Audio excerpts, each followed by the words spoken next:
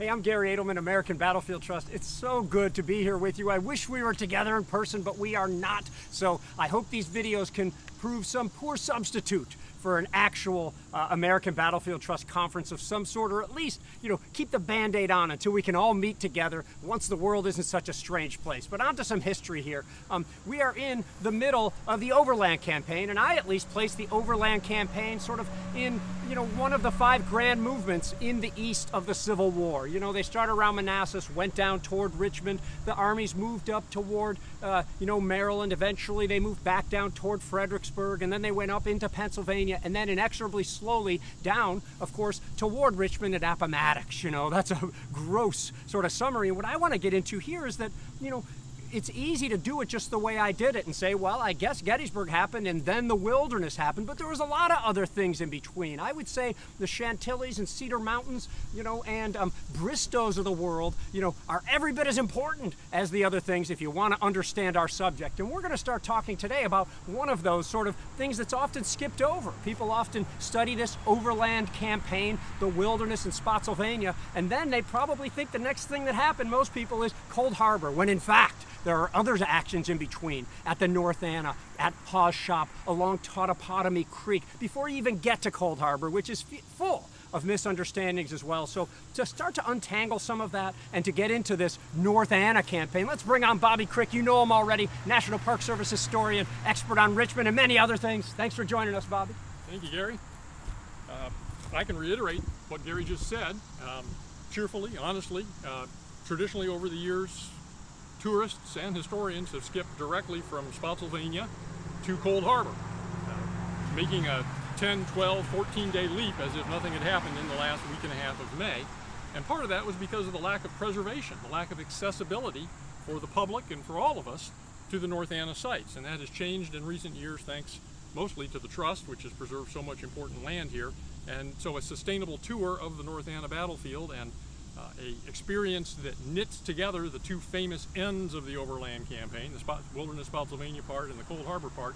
Something now exists that ties that together and makes North Anna much more tourable, if that is even a word. Now, North Anna is generally considered to have stretched from May 23 to May 26 of 1864. It involved essentially all of the infantry of both armies. The Federal Army was missing most of its cavalry. Phil Sheridan, the cavalry corps commander, had carried away most of the mounted arm of Grant's Army of the Potomac, Grant and Meade's Army of the Potomac, on a raid which extended from May 9 until May 24. So when the armies approached this ground at North Anna, the Federal cavalry was by and large not present. The Confederates were all here. Confederate cavalry was missing Jeb Stuart, who had been mortally wounded at Yellow Tavern a week and a half earlier, but by and large, the strength of both armies was full as the armies approached the North Anna River. Now, a little geography is essential when you look at North Anna and the, the middle part of the Overland Campaign. Now, the North Anna River flows from west to east across central Virginia. It joins the South Anna River and forms the Pamunkey River before flowing eastward off toward the coast of Virginia. So the North Anna River would be astride any north-south operations between Fredericksburg and Richmond. The North Anna is probably between 20 and 25 miles north of Richmond, and it's the first decent defensible position south of Fredericksburg. In fact, back in December of 1862, Robert E. Lee had contemplated for a while making his line of defense along the North Anna. Ultimately, he chose the Rappahannock River the area around Fredericksburg being more defensible in his opinion, but he had contemplated the merits, the pros and cons of the North Anna. Anyone who has ever driven Interstate 95 south of Fredericksburg sits in stop and go traffic in the 21st century. We know how flat Caroline County, Virginia is, how indefensible the landscape and the terrain were and are between Fredericksburg and the North Anna River. And so when Lee was maneuvered out of position at Spotsylvania starting on May 20, May 21 of 1864. There was no question where he had to go, and that was to the North Anna River, which is about a mile and a half over my shoulder, the camera now facing south. Immediately to the left of the camera is a trace of the original historic Telegraph Road This was the primary way between Fredericksburg and Richmond. Countless hundreds of thousands of soldiers during campaigns between 1861 and 1865 marched back and forth along this road. And here's a little strip of it. There are several such strips in Caroline County and Hanover County. We're stopped in the yard, directly over my shoulder, you can see it, the yard of Carmel Church, which is thought to be at least partially an historic building, a witness to what happened here when the armies arrived on May the 23rd. There's a little bit of uncertainty about it. The church was built in the 1830s. The current congregation believes that the front portion only of the main church, uh, the, the, edifice and the, uh, the pinkish bricks there, are probably original to the antebellum church. The rest of it has been rebuilt since the Civil War. We do have some material about uh, Edward Porter Alexander, the famous Confederate artillerist and memoirist, uh, presiding over a court martial there earlier in the war before North Anna. We also know that William Nelson Pendleton, the pious chief artillerist in Lee's army, preached from inside Carmel Church. That also predated the time that the armies arrived here in May of 1864. So to get us to the battle itself, Grant had divided his four corps of infantry into parallel columns to march more rapidly southward once they had disengaged from Spotsylvania. Robert E. Lee had a great advantage because he knew precisely where he was going and had a direct line to do it. So the balance of his army on parallel roads hustled back south of the North Anna River and were in position before May the 23rd of 1864. Not so easy for the Federals. Uh, the logistics of a movement of an army of that size across barren Caroline County was troubling. And I will break out some arithmetic to illustrate my point. This is a statistic I only discovered a while ago, not that it was a secret, but it carries great meaning, I think.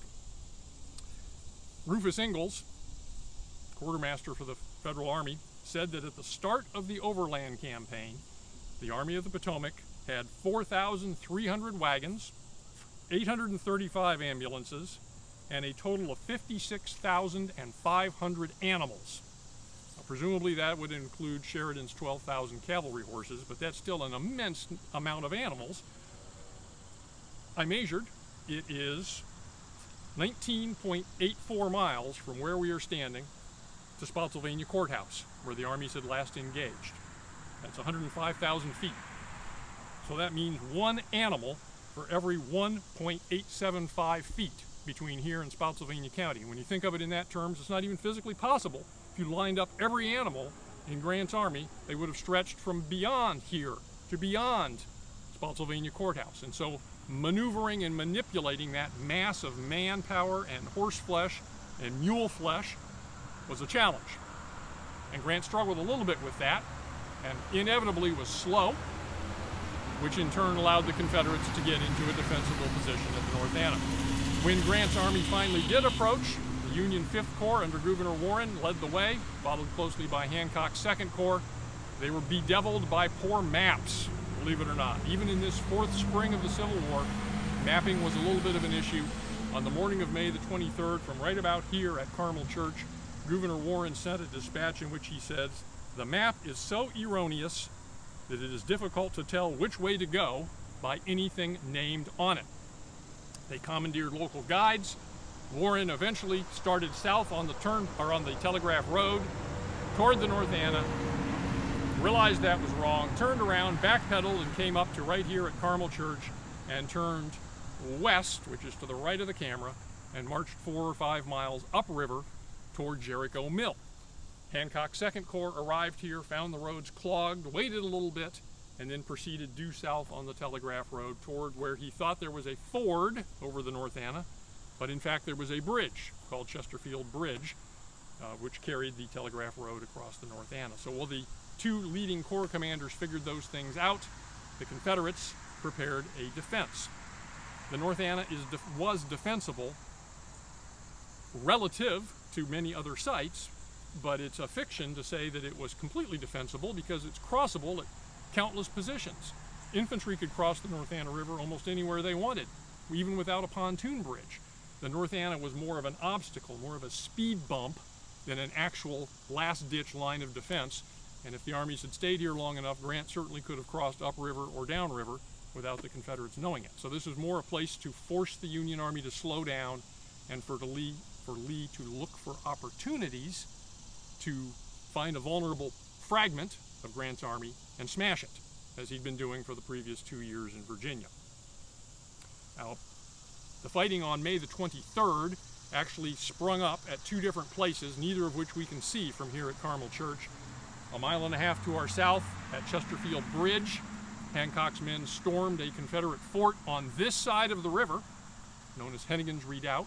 Confederates had unwisely not yet abandoned it, nor had they burned the bridge over the North Anna, and Birney's division of the Union Second Corps swarmed over Henagan's Redoubt, captured it, and seized the bridge over the North Anna intact. And upriver, to your right, at Jericho Mill, Warren's Fifth Corps crossed, splashed across, and then built pontoon bridges for the rest of the Fifth Corps.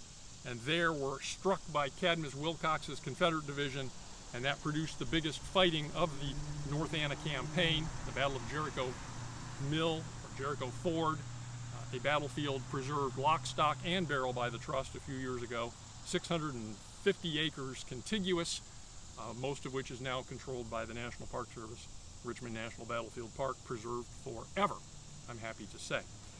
On May the 24th, the second day of the experience at North Anna, Ulysses Grant and George Meade pulled into the yard right here where we're standing at Carmel Church and established their field headquarters inside the church over my shoulder. And they spent a long, hot, dusty day here trying to interpret the intelligence they had gathered from the front and for the most part failing. For most of May the 24th, Grant and Meade believed that the Confederates were retreating from the North Anna River to the South Anna River, the next fallback position, and took them nearly all day to realize that in fact Lee had not retreated from the North Anna, but had created his famous inverted V position, which was a dangerous trap into which he lured the Army of the Potomac. Give you one final quote here about the church, what it was like on May the 24th. We're blessed with a lot of good material from men who were here that day. Theodore Lyman of Meade's staff, Dana, the Assistant Secretary of War, several others. Um, Theodore Lyman, writing in his diary on May the 24th, said it was a most hot, dry, dusty, and barren corner, meaning this intersection, and we boiled in a semi-idiotic state for hours. Goes on to describe how the federal officers had taken the church pews inside the church and set them up carefully and were using them as writing tables as they uh, received and sent dispatches. Looked precisely like a town hall, Theodore Lyman said. And George Meade himself, writing to his wife that night, or that morning rather, May the 24th, said, I am writing this letter in the house of God, used for general headquarters. What a scene and commentary on the times. Jerry? Great. Great stuff. Thank you. Uh, I hope you're enjoying this. Again, you're with the American Battlefield Trust. And whether you're a member of the Trust or not, we hope you're really um, enjoying this, this little trip. And this is one of several videos that uh, should come sort of in order before and after this one where we're talking about North Anna. I might have a question or two for Bobby here because here we are. It's May of 1864 uh, and the Union Army sort of is new again, right? They've got this new General-in-Chief commanding all the armies. You've got this sort of Ninth Corps component that's not a part of the Army and then it is part of the Union Army. And Grant and Meade don't exactly get along, and then the cavalry guy, Sheridan, is coming sort of from the west with Grant. So could you talk a little bit? It seems like when they're here uh, at Carmel Church, Grant and Meade aren't getting along, but yet Grant keeps him on for the whole rest of the war. What? That's one of the most um, often discussed questions when we get out into the field. Not so much at Wilderness and Spotsylvania, a little bit, but more at North Anna, where Grant and Meade apparently uh, snipped at each other, sniped at each other a little bit, and then further at Cold Harbor, where some finger pointing uh, commenced. Uh, and so to Garry's general question, I think George Meade was so duty bound, or so devoted to duty, such an old-fashioned Army officer, that he was willing to put up with what he considered bad treatment. And Grant, being a newcomer from the West, and as Garry said, not quite familiar with all of the principles and all of the players, had to have a liaison, had to have a bridge between himself and the meat and potatoes of the Army of the Potomac. And we see it even on the first day at the Wilderness, where Grant expressed some displeasure with how the Army of the Potomac did some things, and Meade rose to their defense. But this is the third or third and a half week of the Overland campaign, and some of that uh, some of that fuzzy glow had worn off a little bit. And so there were two or three episodes here at North Anna uh, that helped to illustrate the uh, unraveling, or at least the, the, the, uh, the, the mild discomfort in the Grant and Meade relationship. At one point, one of them galloped past the other and left him in a cloud of dust, kind of uh, childishly. And then here at, uh, at Carmel Church itself, the famous episode where uh, Dana, the Assistant Secretary of the War, uh, had the uh, bad judgment to read a fawning dispatch from General Sherman in the West, explaining how the Army in the West had done all sorts of things, and now if only General Grant uh, could get the Army of the Potomac to fight equally well, everything would be fine. And in fact, rather than just tell you the story, I'll read you the quote from uh, from uh, uh, Lyman. When Meade heard that, his, gr his gray eyes grew like a rattlesnake's. I consider that dispatch an insult to the Army I command, and to me personally, the Army of the Potomac does not require General Grant's inspiration or anybody else's inspiration to make it fight. And then Lyman says, Meade did not get over that all day, and at dinner he spoke of the Western troops as, quote, an armed rabble. Now, none of that was Grant's fault. None of it was Meade's fault particularly, but the, the, the, the little crack, the little wedge between their relationship uh, opened a little bit wider here at the North Anna. And then at Cold Harbor, where there was plenty of blame to be apportioned, it grew much wider as everyone tried to avoid uh, being saddled with responsibility for the disaster there. Great. Thanks so much, Bobby. So we have a lot more to talk about. And I mean, this is not specific to Grant and Meade. Lincoln is dealing with it. Uh, Jefferson Davis is dealing with it. And to be sure, Lee is dealing with it, especially as the war went on a little bit further, as maybe you don't have the exact people you wish you'd have in order to be on your team. And in the end, these endeavors, whether it be business or war, come down to personal relationships between men and women, subordinates and superiors, and colleagues and whatnot. So we got to make sure we study that part of the war. We're going to be hopping on to other places. Uh, Bobby and I will be back pretty soon. So for now, uh, we'll see you later, and thank you, thank you for supporting Battlefield Preservation.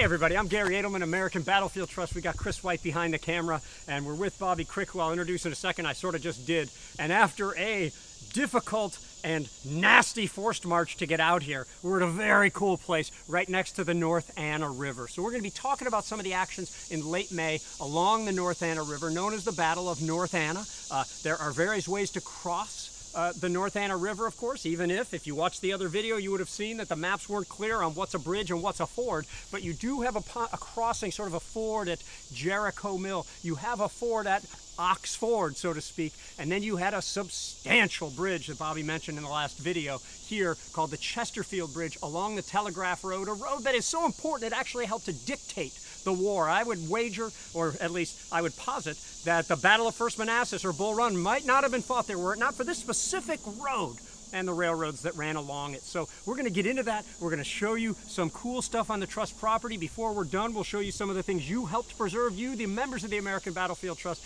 and maybe some buttermilk and fallen bricks and Hancock and Lee and Alexander might come into it. Bringing back Bobby Krick, uh, National Park Service historian at the Richmond National Battlefield Park. Well, looming over my shoulder, and the reason we made the hideous trek that Gary referenced was to get down here to the abutment of the Chesterfield Bridge. We're on the south side of the North Anna River, and this is part of the road network for the Telegraph Road. Uh, obviously, if you can see it well over my shoulder, there's some modern improvements. Uh, we're not sure if the foundation, the lower tier, is original to the 1860s. It may well be, but the upper part certainly has been repaired. This bridge and the original Telegraph Road fell out of use in the 1920s or the early 1930s, replaced by modern Route 1, which is what people travel today when they're trying to avoid Interstate 95. But on the afternoon and early evening, and, and even right at twilight on May 23rd of 1864, this was an extremely uh, hot and interesting place. Uh, the Battle of Henagan's Redoubt had concluded just minutes before sunset on the 23rd. General Lee, for some reason that's never been fully explained, unwisely left one brigade of infantry on the north bank of the North Anna River. What most of us know is Kershaw's South Carolina Brigade from earlier in the war, now commanded by Colonel Henagan, uh, the senior colonel in that brigade. And for some reason, they were not extracted as Grant's army approached from the north on the afternoon of the 23rd, nor were preparations made, as far as we know, to burn the bridge. So the span of the bridge started here over my shoulder and went over your camera and behind you. The river is maybe 100 yards behind the camera. The river itself is maybe 50 yards wide, and then there are surviving abutments of this bridge on private property on the north bank of the river, very close to Henagan's Redoubt. The troops that captured Henagan's Redoubt did so with a direct frontal assault using over, uh, overwhelming manpower, Birney's division, against just Kershaw's somewhat small brigade. The troops that actually captured the fort and the adjacent uh, outlying dirt embankments mostly were old veterans of the Union Third Corps before the Third Corps had been dissolved. So, for instance, some of the New York regiments that had been in Sickles's brigade in 1862, the Excelsior Brigade, uh, and some of the others were all participants in that. Uh, the fight was actually not that large. It was mostly focused around the redoubt itself. The Confederates who escaped came galloping back across the bridge, right over, over our heads, to safety. But again, nobody had made preparations for destroying the bridge. And so the Union troops in the twilight, even into the early darkness, came storming across the bridge trying to ensure that no Confederate could light it on fire. I have one account that I will read from a New Yorker, 93rd New York. Says the regiment attempted to charge across the bridge and got nearly across when they met with such a severe volley that they had to fall back. The color bearer was shot and fell on the bridge, and Lieutenant Ball of Company K ran back and brought off the colors safely. Now this could have been catastrophic for the Confederates. Could have been a Civil War version of uh, the bridge at Remagen from World War II. Failed to destroy the only significant bridge across the North Anna, thereby allowing Grant's army to cross the burial, barrier. The whole point that the army had been here was to protect the line of the North Anna. As many people know, this actually worked to the benefit of the Confederates because Grant's army also crossed upriver at Jericho Mill and that gave him two lodgements at widely separated locations, and the Confederates kept the high ground at Ox Ford, which Garry mentioned a moment ago, and this is what created the famous inverted V of Lee's line. And earlier I called it a trap, and that certainly conveys the right sense of things, but trap is not the perfect word because it uh, implies that it was intentional, and I'm not sure that it was.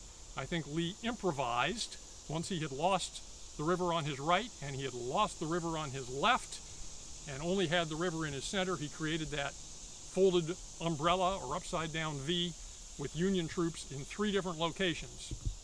Jericho Mill south of the river, opposite Ox Ford north of the river, and here at Chesterfield Bridge south of the river. That negated Grant's manpower advantage and created a situation where the Confederates potentially could deal with some bite-sized scoops.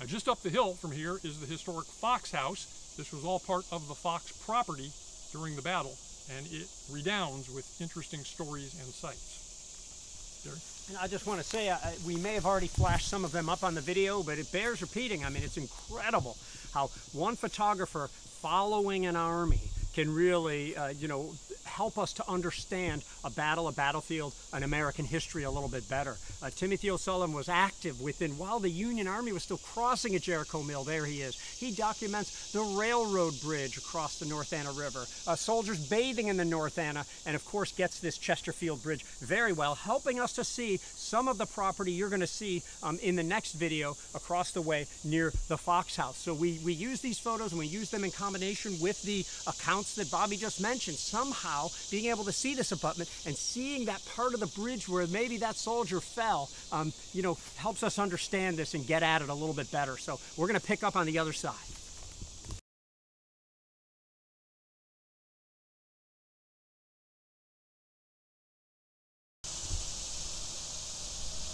All right, now we're about, I don't know, half a mile south of where we were before. I'm trying to scream over all the cicadas in here at the beautiful Fox Turner House that Bobby already referenced. Uh, uh, the members of the American Battlefield Trust, we couldn't be more pleased uh, with that partnership and the federal government, the American Battlefield Protection Program, coming together to preserve this absolutely essential property in 2018. We're talking about 125 plus acres around it as well. Um, and the house and the schoolhouse next to it are actually just, just absolutely beautiful uh, mid 19th century constructions. And uh, we were able to get a grant from the Flippo Foundation, thank you very much, to cover most of, not the restoration, but the stabilization and the sort of uh, preservation of the home. You can see it's in a state where it's sort of boarded up, and that's just what we needed. We needed to keep the elements out, make sure it was in a safe place, so that was really just great. And the house itself has so many great stories um, that Bobby Krick's going to come back and tell you. So come on, Bobby.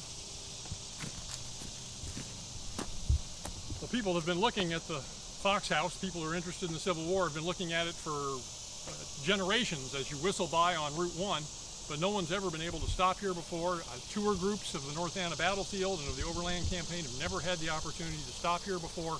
So this is pretty significant in a lot of ways, apart from just the intrinsic value of the house and the property and this portion of the North Anna battlefield. The house itself dates probably to about 1830, and it was purchased in 1840 by the Reverend Thomas Fox, and so we know this as the Fox House because he still had it in 1864 when the armies came here. It was known locally as Ellington. That was the name of the house. And if there was any doubt about how different things were 180 years ago, consider this. The Reverend Fox had uh, studied to be a lawyer, but according to the family, he abandoned the law and took up school teaching as a more remunerative means of living. So he gave up being a lawyer so he could make more money teaching school. And that explains the outbuilding here, just to the left of the camera, which is a antebellum brick structure where Reverend Fox ran a boys' academy between 1840 and the early 1870s. Based on some of the census returns from 1850 and 1860, looks like some of the young men who studied here went on to serve in the Confederate Army, although none of them were famous or recognizable names. But they did have some of their schooling here at the Fox House, little realizing how prominent this place would be in May of 1864. So we're on the south bank of the North Anna River. We're on the Confederate side of the river. And as the Battle of Henagan's Redoubt raged on the afternoon of the 23rd, Robert E. Lee tried to configure his defenses to guard the river.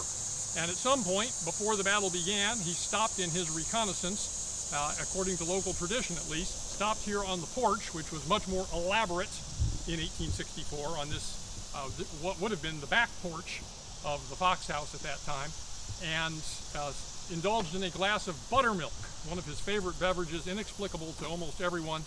Uh, not coincidentally, he came down with dysentery right about then too, and I've always thought the two things might have been connected to one another. It's what you get for drinking buttermilk. But while Lee was sitting here drinking buttermilk, according to the local story, a Union rifled cannon shot came whistling in and lodged itself in the door frame right beside him as he was sitting on the porch. And there is still a convenient uh, conical shaped hole in the door frame today. Uh, and obviously the shell did not explode, or maybe it was a bolt of some sort, and Lee had a narrow escape. There's only one source for that, and it's from 1926, but the hole in the porch uh, wall does make a, um, a nice illustration, and it could be a true story. Once the Federals started their attack, Confederate artillery deployed here around the Fox House. This is on a very prominent ridge. Edward Porter Alexander's First Corps artillery pounded the Union assaults before they reached Henagan's Redoubt, firing in long distance support. But as we learned earlier, Confederates lost Henagan's Redoubt, they lost the Chesterfield Bridge, And ultimately, then they had to abandon this piece of property because they had been flanked, could not necessarily defend this ground in an isolated manner. And so Lee and the Confederates withdrew back to the south. But before they did that, they had one particularly exciting episode, a site-specific thing connected to this house with people that we're all familiar with, which makes battlefield touring so much fun sometimes when you can connect dots this explicitly. So let's walk over to the south side of the house and see where this happened.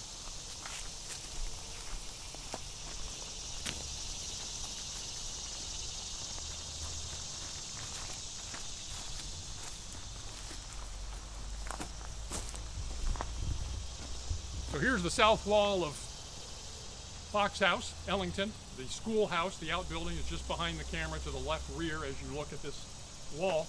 And as the battle was developing, and Porter Alexander's artillery and the Confederate First Corps infantry were gathered in the vicinity uh, and suffering from counter battery fire, this house automatically became a convenient bulwark. And so everyone who was in the vicinity crowded over here on this side using the, using the house as a protection against the incoming Union artillery. And among those who were here were Richard H. Anderson, uh, uh, Confederate Corps commander, and Moxley Sorrel of James Longstreet's staff, now on Anderson's staff, and Edward Porter Alexander, who's been mentioned several times. And both Alexander and Sorrel left good accounts of what happened at this precise spot. Not in this vicinity, but right at this precise spot. So I will read you Alexander's account. Be familiar to some of you anyway from his famous book. He said, being tired, I sat down on the sill of a closed basement window. And so we're going to import some talent here. Bring in Garry Adelman to fill in as Edward Porter Alexander over to the window, which I, is now boarded up. I think he was a little taller. He was. he was. That's the boarded up window, but uh, if the board were, be to, were to be removed, you'd see the window sill. So that's where Alexander was. He sat down on the sill of a closed basement window. Several couriers standing just in front of me and holding horses. Just then, a shell cut off about 10 feet of a chimney top, which there ran up the wall. And you can see the uh, bulges on either side of Garry there. Those are the uh, those are the chimneys going up. There are double chimneys on this side of the Fox house. Alexander said, I could not jump clear of the bricks as they began to fall, for the couriers and horses were in the way. But as quick as a cat, I jumped on the sill about a foot above the ground and flattened my back against the window.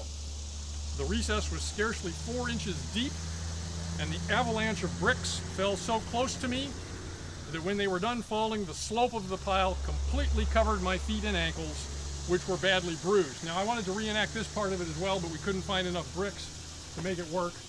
Ah! But that's close. Alexander concluded by saying, long after the war, he said, there are a number of places on that line of railroad from Richmond to Fredericksburg which I always like to look out at of the car windows as I go by, even to this day. And Parson Fox's house is one of them, for I would not like to have been killed by bricks. And his colleague Moxley Sorrel, Chief of Staff, Confederate First Corps, said our Corps headquarters had made halt for the time in a beautiful grove where stood a large, old-fashioned Virginia residence with two immense brick chimneys at each gable. The shelling was so frequent and the small fragments flying everywhere so annoying that most of us got under the lee of the gable. General Anderson, that's Richard H. Anderson, Dick Anderson, was coolly walking about the grove sucking on his big pipe and warned us that if a shell struck one of the chimneys, there might be trouble. We were perhaps two dozen sitting there, officers, orderlies, and some horses held by the bridle. Anderson was right. A crash, a bursting roar, and down came bricks and mortar on those not quick enough to skip out of the way. Now, he had some details that Alexander left out. Sorrel says two of the couriers had a bad time of it, one with a broken leg and another with a fractured arm. Both were put into an ambulance and cursing and reviling at being wounded by loose brick bats instead of honorable bullets, they were carried to the rear.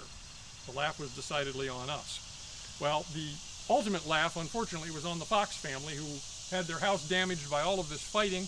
And then when the Confederates withdrew to create their inverted V, their, their upside down umbrella, they fell back probably a thousand yards to the south as part of that maneuver. And the Union troops, using the captured Chesterfield Bridge, were able to come up here and repurpose this high ground for their own uses. And so the line of Hancock's Second Corps during the Battle of North Anna from May 24, 25, 26 was essentially in the yard just beyond to the south, behind and to the left of the camera. Uh, at short range, this was the infantry line, and so the Fox House was immediately in the rear of the Union Second Corps, and it was pillaged extensively, not moderately, but extensively. There's abundant material about that. I will only read you one account of many to kind of set the tone a little bit.